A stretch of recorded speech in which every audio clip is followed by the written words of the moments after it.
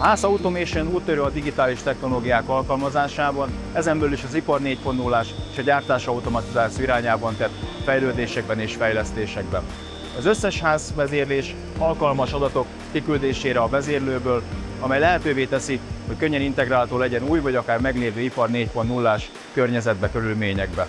Ilyen néhány kiegészítő például a Wi-Fi vagy Ethernet interfész, a teljesen integrált szerszám és munkadarab bemérőrendszer, vagy éppen a Ház Connect online távfelügyeleti rendszer, amelynek segítségével az ügyfeleink díjmentesen bármikor le tudják kérdezni a gépük aktuális státuszát, és személyre szabott riasztásokat tudnak saját maguknak beállítani az applikáción keresztül.